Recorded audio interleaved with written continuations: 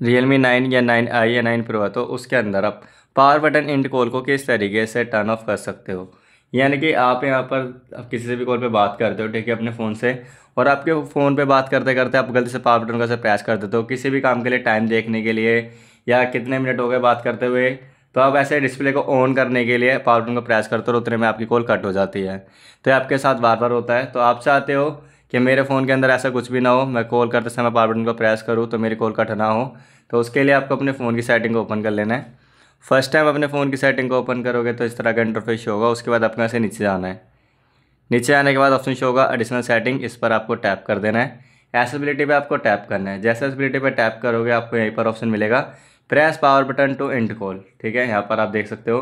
तो आपको इसे ऑफ़ कर देना है। अब जैसे इसको ऑफ़ करोगे, अब आपके पास कभी भी कॉल आएगा और कॉल को पिकअप करके बात करोगे। आप पावर बटन का से बार बार प्रेस करोगे ना, फिर भी आपकी कॉल वहाँ पर कट नहीं होएगी। तो वीडियो अच्छी लगी तो वीडियो को लाइक शेयर सब्सक्राइब करें। मिलते हैं नेक्स्ट वीडियो में। जब तक के लिए बाय